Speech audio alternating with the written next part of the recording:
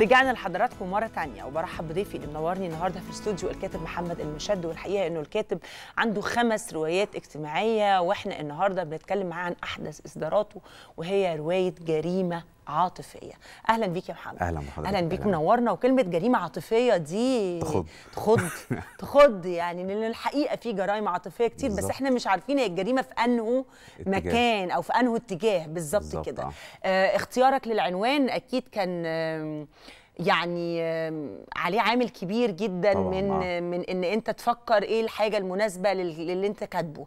ليه جريمه عاطفية؟ وليه قررت إن اسم الرواية بتاعتك يكون جريمه عاطفية؟ هو كان الأول كنت بكتبها باسم جريمة لا يعاقب عليها القانون.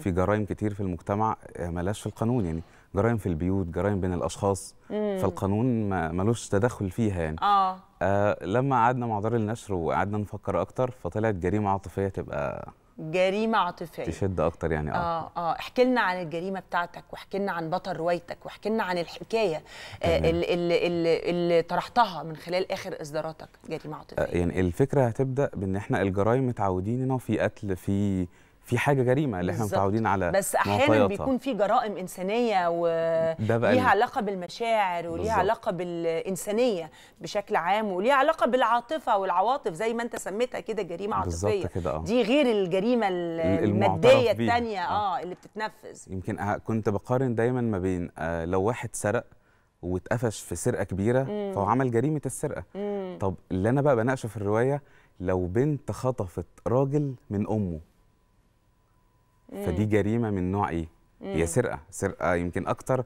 من إن أنا مثلا أسرق موبايل حضرتك أو آه. أسرق حاجة. خطفت راجل من أمه بمعنى إيه؟ يعني هي خطفته طفل ولا بنت خطفت راجل كزوج يعني؟ كزوج. كزوج. آه طبعا. افتعلت شفنا فتنة. النماذج دي كتير. طبعا. هنلاقي اللي بتقاسيه على أمه اللي يعني تقصد كده النموذج كده ده؟ آه. أوكي. فسرقت راجل كبير من أمه بعد ما كبرته فهو اتسرق. فأنا كان بالنسبة لي لو قدامي لو أنا قاضي يعني أو قدامي واحد سارق مثلا لابتوب وواحدة آه. سارقة راجل من أمه فأكيد عقوبتها أكتر يعني هو الاثنين سرقة. مفهوم طبعا. فده اللي أنا كنت بحاول أناقشه في الرواية. آه وده شكل من أشكال الجرائم العاطفية أو شكل من كده. اشكال الجرائم الإنسانية